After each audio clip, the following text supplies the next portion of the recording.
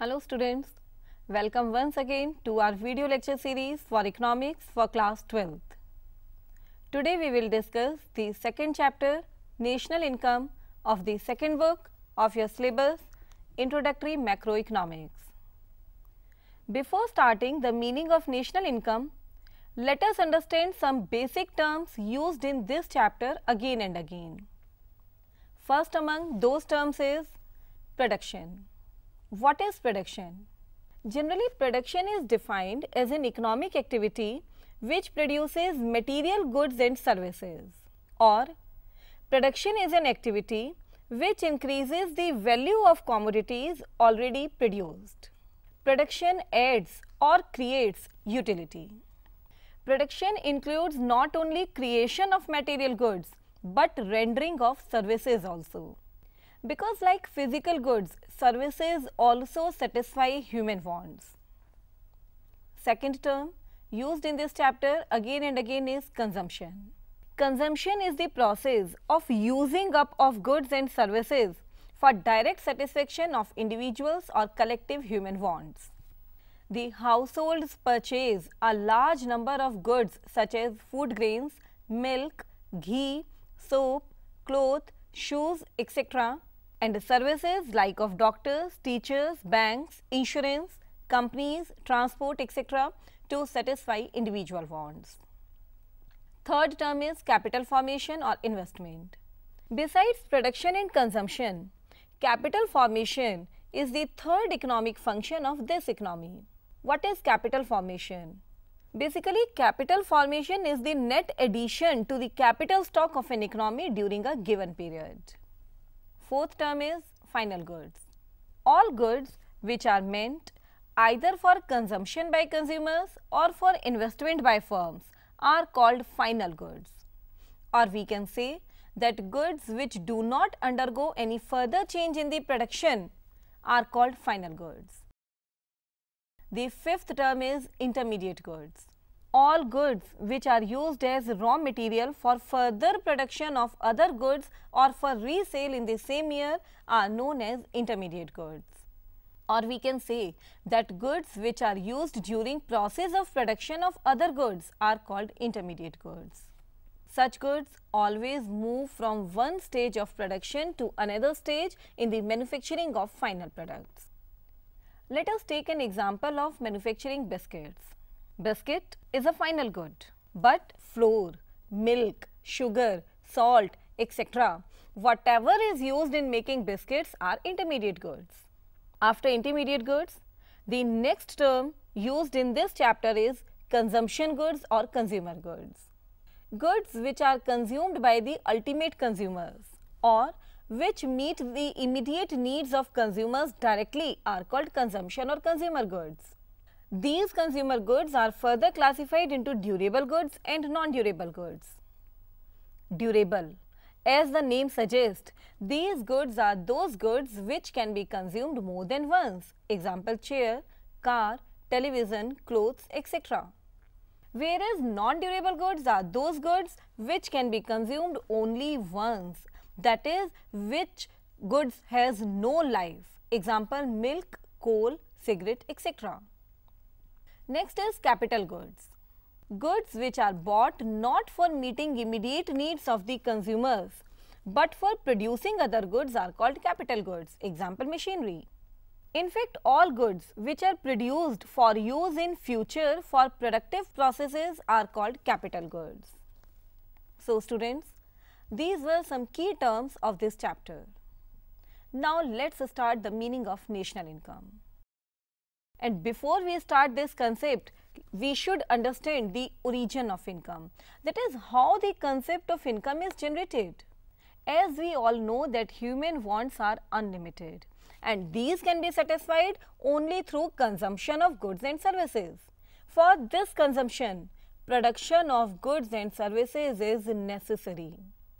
So, this is the production process of goods and services in which income is generated or we can say production generates income.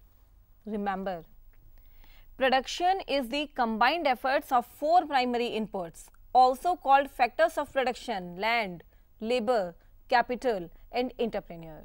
Let's throw some light on the meaning and functions of these four factors of production.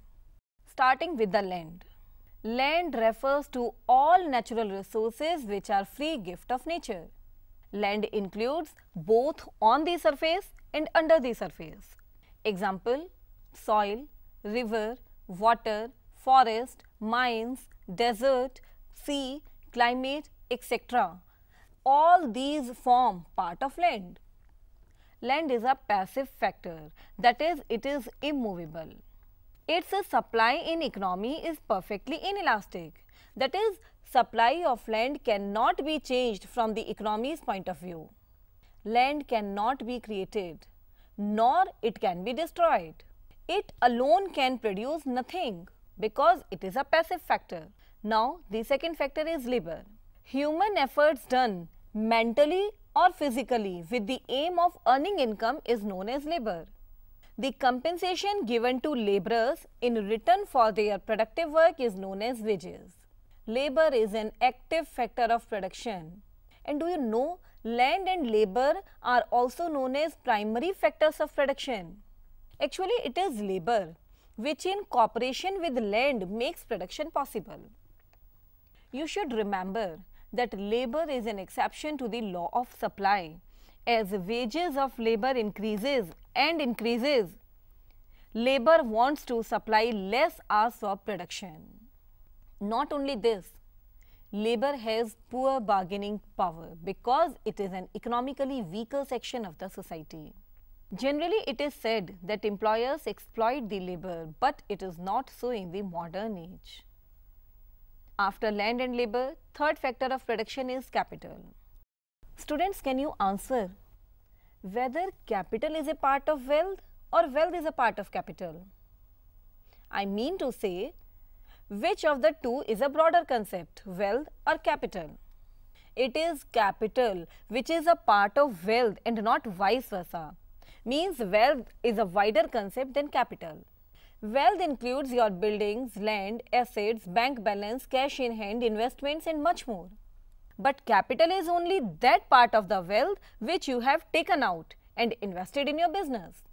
Means it is clear that wealth is a broader concept than capital. Capital is a man-made material source of factor of production. All man-made goods which are used for further production of wealth are included in capital.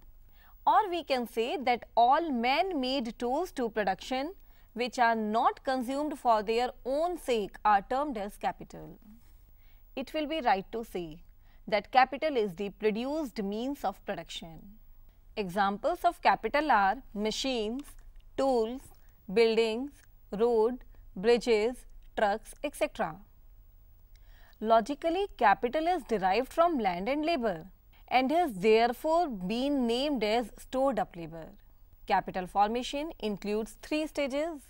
Firstly, savings, which depends on our income and also on our willingness to save. Second stage in capital formation is to mobilize these savings. And thirdly, investment. Investment means addition to the stock of capital goods such as buildings, equipments that adds to the future productive capacity of the economy. Now the last, Fourth factor of production is entrepreneur. An entrepreneur is a person who organizes the other three factors of production. He coordinates the land, labor and capital in right and required proportion to use them for production. Actually, entrepreneur is the person who initiates the business, who starts the business, who undertakes the risk and uncertainty involved in the production. This risk may be financial risk or technological risk. His main function is innovation. Now, by using jointly all these four factors of production, land, labor, capital and entrepreneur, whatever is produced, the same gets distributed among them as factor income in the form of rent, wages, interest and profit. Rent to the land, wages to the labor, interest to the capital and profit to the entrepreneur. Basically, the amount of rent, wages and interest is fixed.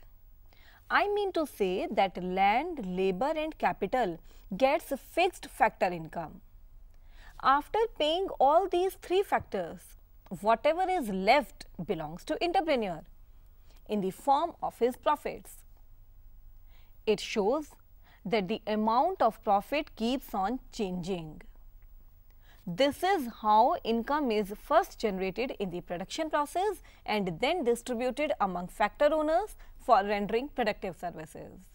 Now this income gives rise to expenditure for purchase of goods and services to satisfy wants. This expenditure in turn further leads to production. In this way, there are three phases in circular flow of national income. First is production phase, second is income phase and third is expenditure phase. Means first goods and services are produced. Then income is generated to the four factor owners. Then these factor owners make expenditure out of this income. On this basis, now national income can be defined in three ways as a flow of goods and services produced, national income as a flow of income distributed and national income as a flow of expenditure. Let's explain the national income in these three ways. First, national income from the production point of view. National income is the sum of money value of all the final goods and services produced by normal residents of a country during an accounting year in its domestic territory. From income point of view, national income is the sum of factor incomes earned by normal residents of a country in the form of rent, wages, interest and profit in an accounting year in its domestic territory. National income from expenditure point of view is calculated by adding up final consumption expenditure and final investment expenditure on final goods and services by normal residents of a country in an accounting year. In short, national income is either money value of all the final goods and services produced in the country or it is the sum total of all factor incomes earned or it is the sum total of final expenditure. As we said, that national income consists of a collection of different types of goods and different types of services. Since these different goods are measured in different physical units, it is not possible to add them together. We cannot state that national income is so many millions of meters of cloth, so many million liters of milk, so many pairs of shoes, etc. Therefore, there is no way except to convert them into a common measure. This common measure is money. For example, if the value of a meter of cloth is rupees 20, that is cloth is 20 rupees per meter and the total cloth produced is 100 meters during an accounting year, then the money value of cloth is rupees 2000 that is selling price 20 rupees per meter into quantity meter produced 100 20 into 100 2000. In this way, we can find out the value of other goods and services also and the total value of all the goods and services produced during one year. Only this gives us a single measure of the final goods and services produced by the country in that year, which is nothing but the value of national income on national product. Students, in the definition of national income, we use the words normal residents and domestic territory of an economy. We will discuss these two terms in our next lecture with much more topics related to national income. So, it all was for today. Let's revise what we have done today.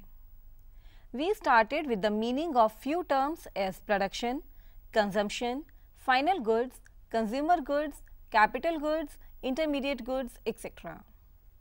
Then the meaning of four factors of production with their functions land, labor, capital and entrepreneur. Then we discussed the origin of income which is directly related to the production. I mean to say it is production which generates income in the form of rental income to the land, wages income to the labor, interest income to the capital and profit income to the entrepreneur. Then we discussed the definition of national income in three ways in the form of production, in the form of income and in the form of expenditure. Because our demand and need leads production. Production generates income and this income gives birth to expenditure. These three production, income and expenditure are interrelated. Rest we will do in our next lecture. Till then, thanks.